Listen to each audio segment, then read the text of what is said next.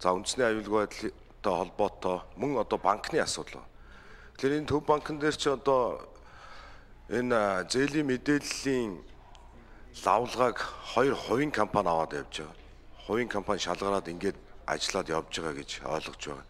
Тэгэхээр энэ хууль гарснаар энэ одоо асуудал яа шийдэгдэх юм бэ гэж хоёр дахь асуулт. За гурав дахь асуулт нь ер нь яг зүгээр энэ хууль орж ирэхэд нэлээд олон талын бас шүүмжлэлүүд, маргаанууд орж ирж байна л да. Ялангуяа орон нутгаас нийслэл Улаанбаатар хотоос энэ одоо хуулийг ороход нийслэл Улаанбаатар хотод ажил хийгдэх одоо боломж болцоо байхгүй гэсэн ийм одоо чиглэлийн юмнууд яригдж байгаа. Тэгэхээр энэ дээр та бүхэн минь энэ бусад холбогдох орон нутаг яамдуудтайгаа ялангуяа энэ томоохон аж ахуй нэгжүүдээс эхлүүлээд жижиг аж ахуй нэгжүүдтэйгээ энэ ажлын хэсэг дээрээ энэ судалгаан дээрээ холбогдож саналууд авсан юмнууд байгаа юу гэдэг нэг ийм гурван асуулт байна. За саналын хувьд бол яг зүгээр товчхон саналаа хэлье. Нийслэл Улаанбаатар хот бол 2022 оны 1 сарын 1-ээс эхлээд энэ нийслэл Улаанбаатар хотын эргэцүүн байдлын тухай хууль хэрэгжиж эхлээд явж байгаа. Шинэ хууль. За тодорхой хэмжээнд энэ хууль эрх зүйн хувьд, эдийн засгийн хувьд энэ бие даах юм боломж олцоотой болж явж байгаа. За гэхдээ энэ хуулиар одоо эргээгээд энэ хотын бие даасан байдлууд одоо хомигдох энэ одоо ийм хандлагатай юм шиг харагдаад байгаа. Тэгэхээр энэ юу гэж хэлж яах вэ гэхээр нэг сагсан дотор ерөөсөө томоос эхлээд жижиг хүртэл бүх ажлуудыг нэг сагсан дотор хийгээд нэг одоо газар төвлөрүүлээд явах нь хэр одоо зохимжтой юм болоо. Үүнийгээ одоо энэ ажлын хэсгүүд дээрээ гэдэг юм уу? Энэ хуулиндаа нарийн тодорхой зааж өгөхгүй бол жишээ нь одоо нэг сургуулийн үйлчлэгээ аж ахуйн чиглэлээр одоо үйлчлэгийг нь аваад явъя гэд ингээд энэ хуулийн дагуу гэрээ хийгдээд явхад бас одоо сангийн яам гэдэг юм уу эдийн засгийн яам гэдэг юм уу засгаараа ороод ингээ асуудлууд нь дамжираад явах ёстой юу. Тэгэхээр зөвхөн миний санал бол хэрвээ болдог бол нэгдүгээр санал, хоёрдугаар одоо бас асуулт. Хэрвээ болдог бол энэ томоохон орон нутаг, аймагуд эсвэл нийслэл тодорхой хэмжээний юм шатлалтай буюу интервалчлалтаа ингэж ажиллаж болох уу? Жишээ нь хот гэдэг юм уу?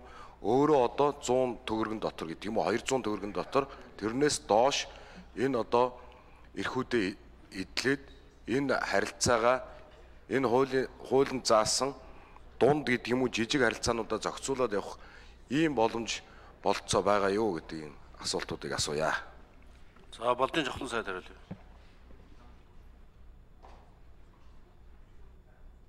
За гişүний асуултанд хариулъя. За тэр одоогийн консенсус төр би товчхон хариулж. Одоогийн консенсусын жигсаалтанд байгаа болон одоогийн одоо консенсусын гэрээгээр үргэлжилж байгаа бүх төслүүд хэвээр үргэлжлэнэ.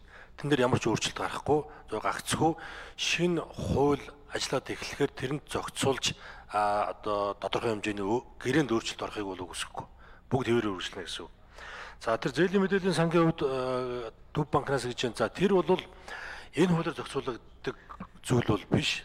Тэр төв банк өөрийнхөө хуулийн хүрээнд зөвшөөрөл өгөөд тэр зөвшөөрлийнх нь хүрээнд хоёр байгууллага аж ахуйн ажиллагаа явуулж байгаа гэж ингэж ойлгож байгаа. Тэр бол төрийн хөгжлийн түншлэлийн харилцаа бол биш. За орон нутаг гэж байгаа. За энэ дээр бүгдээ нэг ойлголтоо зэгслэх шаардлагатай болж ирж байгаа шиг байна. За энэ хууль маань бол шинэ хууль.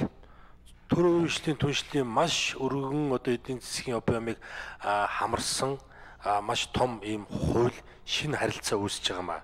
Тийм учраас нэг эхний хэдэн жилдээ бид нөө төсөл боожуулна гэдэг шиг энэ хуулиа одоо боожуулаад энэ хууль маань одоо хөл дээрээ босоод энэ төрийн үйлчлэлийн харилцаа маань одоо олон улсын жишг нийцхээр тийм одоо мундаг бие даах хүртэл нэг цонхоор нэг шалгуураар одоо нэг бүрэн шинжилгээгээр аль аль талынхаа одоо эрсдлийг тооцоолж ингэж явах нь маш чухал байгаамаа. За би танд ганцхан жишээ хэлье. 2015 онд байгуулагдсан нийслэл Улаанбаатар хотод 72 сургууль байгуулах ийм концессийн гэрээ байгуулагдсан байдیں۔ 72 сургууль. За гэтэл одоо түүнээс зөвхөн 23 нь хэрэгжээд явж байгаа. 23 нэржээд явж байгаа. Бусд нь бүгд одоо гэрээнд цус цуцлагдсан. За гэтэл одоо энэ 23 байна өөрөө дахиад асуудалд агуулж байгаа. Энэ 23 одоо гэрээ маань нэг 30-аас 50% төслийн хөрөнгө оруулалтын хэрэгжилтийн явцтай. За гэтэл одоо энийг цаашид үргэлжлүүлж хийх ямар ч одоо хууль эрх зүйн орчин байхгүй болсон. цаашид одоо санхүүжилт нь өөрөө өөрөө өөрийгөө санхүүжүүлж явж чадахгүй. За энэ нь эргээд одоо улаан нийслэл Улаанбаатар эсвэл одоо улсын төсвөөс санхүүжүүлгээс өөрөө аргагүй болоод ирсэн байна. За тэр нь яасан бэ гэхээр энэ бол барих шилжүүлэхээр шууд одоо барих шилжүүлэхээр хийсэн байсан. За тэр нь яасан бэ гэхээр тухайн үед энэ төсвийн эрсдлийн шинжилгээ хийгээгүй. Нийслэл дээр ч тэр сангийн яам дээр ч тэр энийг ерөөсө огт хийлгээгүй. Шууд үндэсний хөгжлийн газар дээр шууд ийм гэрээ байгуулсан.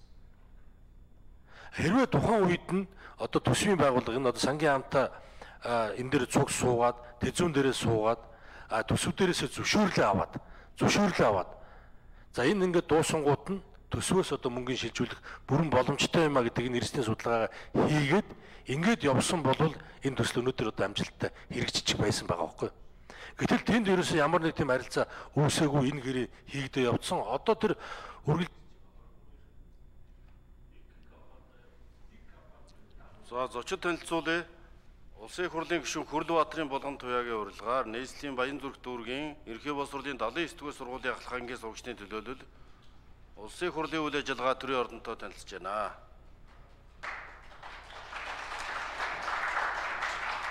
За та та бүхэнд 2 хоногийн өмнө өнгөрсөн хүүхдийн баярын мэндийг өргөн төвшөөлье. Сайхан баярлсан уу?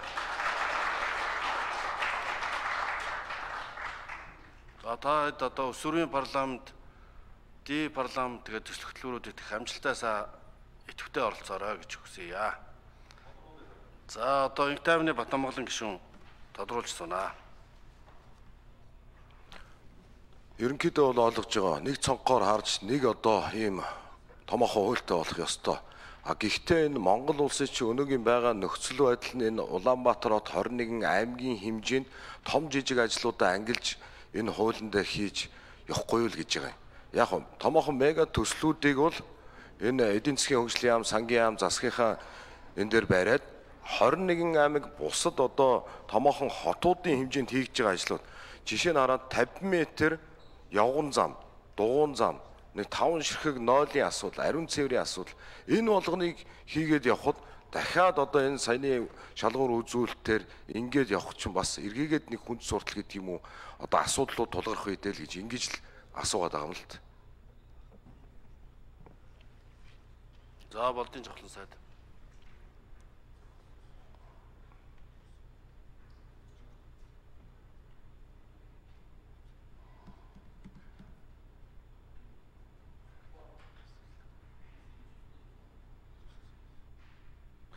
За нэгдүгürt ингэж нэгдсэн байдлаар энэ одоо сайтар бэлтгэгдсэн хуулиар зохицуулагдах нь өөрөө хувийн хвшилтэд маш том баталгаа болно. Маш том баталгаа болно. Тэр бүрэн шинжилгээ хийгдэх эрсдлийн удирдлагаар одоо хангадах энэ одоо гол шалгуур энэ босго маань хувийн хвшил энэ босгоод авах юм бол цаашдаа энэ 20 жил 30 жил энэ бизнесийн үйл ажиллагаагаа тогтвортой явуулах энэ болцоог нь хангах юм байна. За хоёрдугаар саяын таны хэлсэн зүйлүүд бол энэ төрөө үеийн түншлэр хийгдэх зүйлүүд бол биш.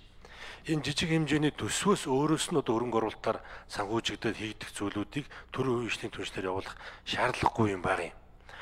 За ер нь бол яг хөө ингээд нэг өмнөх нэг концессийн зохицуулалтаар төсөв одоо санхүүжүүлж чадахгүй өсөн нэмэгдэж байгаа хэрэгцээгээ хангахын тулд төрөө үеийн түншлийн цоош харилцааг оруулж ирж байгаа гэсэн нэг тийм өрөсгөл ойлголт нөгөө нэг концессийн хуулиасаа хойш ингээд улбаалаад яваад байгаа юм.